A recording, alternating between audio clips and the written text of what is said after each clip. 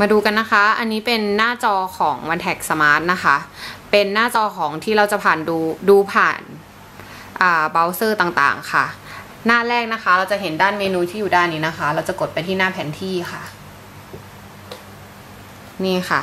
นี่คือรถทั้งหมดที่มีการติดตั้ง GPS นะคะ จากด้านนี้จะเป็นด้านการสรุปทั้งหมดค่ะ โดยเราจะเห็นว่า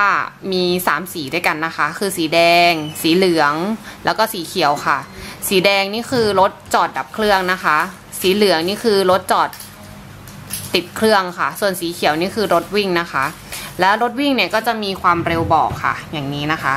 ส่วนในวงเล็บเนี่ยคือความเร็วที่จำกัดไว้ค่ะ อันนี้หน้าโดยรวมนะคะว่ารถอยู่ที่ไหนบ้าง ถ้าเกิดรถมีการวิ่งนะคะ จะมีลูกศรบอกค่ะ ว่าไปทิศทางไหนนะคะอย่างนี้ค่ะ รวมถึงรถสีเหลืองด้วย เดี๋ยวเราจะไปดูหน้ามอนิเตอร์กันนะคะ หน้ามอนิเตอร์เนี่ยก็จะบอกทั้งหมดค่ะว่ารถทะเบียนอะไร ในวันและเวลารถอยู่ที่ไหน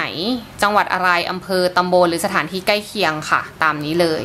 และสุดช่องสุดท้ายคือจะเป็นการบอกสถานะนะคะ และด้านบนค่ะจะเป็นเห็นนะคะ เหตุการณ์ปัจจุบัน เหตุการณ์ย้อนหลัง เหตุการณ์อย่างย่อ แล้วก็เหตุการณ์จอดรถย้อนหลังสถานีรถที่อยู่ใกล้สถานีรถที่อยู่ ใกล้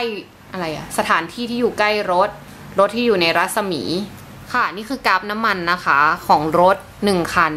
เพื่อเป็นการรายงานค่ะ ว่าเปอร์เซ็นต์ของน้ำมันมีอยู่เท่าไหร่ในช่วงเวลาต่างๆนะคะ อย่างอันนี้ที่เห็นคือ มีการเติมน้ำมันเต็มถังนะคะ และเห็นที่มันค่อยๆลดลงเนี่ยค่ะ เพราะว่ามีการใช้งาน แล้วก็จะเห็นสังเกตได้นะคะ ว่ามันจะมีแถบสีเขียว แถบสีเหลือง ตรงนี้คือจะบอกได้ว่าแถบสีเขียวเนี่ยมีคือคือมีรถวิ่งนะคะ ส่วนแถบสีเหลืองนี่คือรถสตาร์ทเครื่อง แต่ว่าไม่มีการเคลื่อนที่นะคะ หรือไม่มีการวิ่ง